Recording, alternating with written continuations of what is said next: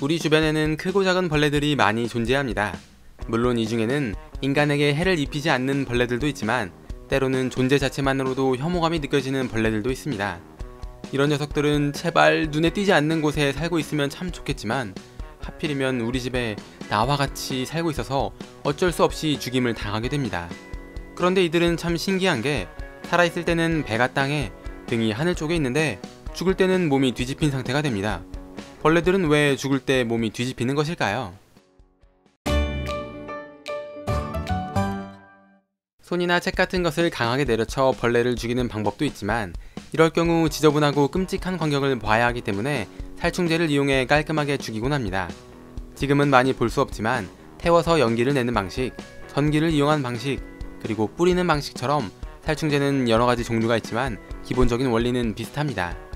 국화의 한 종류인 제충국에는 피레트린이라는 성분이 있는데 과거 제충국 주변에 벌레가 많이 죽어 있는 것을 보고 이 성분을 이용해 살충제를 만들기 시작했다고 합니다.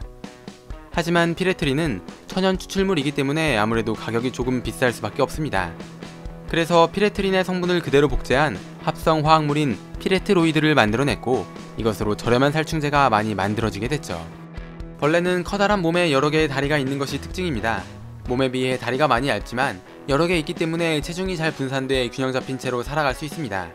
벌레에게 살충제를 뿌리게 되면 살충제 성분은 벌레의 입을 통해 호흡기를 통해 그리고 피부를 통해 몸 안으로 들어가게 됩니다. 살충제는 벌레의 신경을 마비시킵니다. 인간과 마찬가지로 벌레도 신경세포, 즉 뉴런이 존재합니다. 뉴런과 뉴런을 연결해주는 곳을 시냅스라고 하는데 시냅스에는 약간의 틈이 존재합니다. 신경 전달 물질은 시냅스를 통해 뉴런에서 다른 뉴런으로 이동하게 되죠. 여러 가지 신경 전달 물질 중 아세틸콜린은 근육의 수축을 담당하는 물질로 너무 많이 분비될 경우 근육이 계속 수축되기 때문에 정상적인 움직임이 불가능해지고 심장 박동에 필요한 근육이 마비되기 때문에 정상적인 호흡이 불가능해집니다. 그렇기 때문에 몸에서는 아세틸콜린 에스터라제가 분비돼 임무를 다한 아세틸콜린을 분해해버립니다. 그런데 몸에 살충제가 들어오면 아세틸콜린 에스터라제의 분비가 억제됩니다.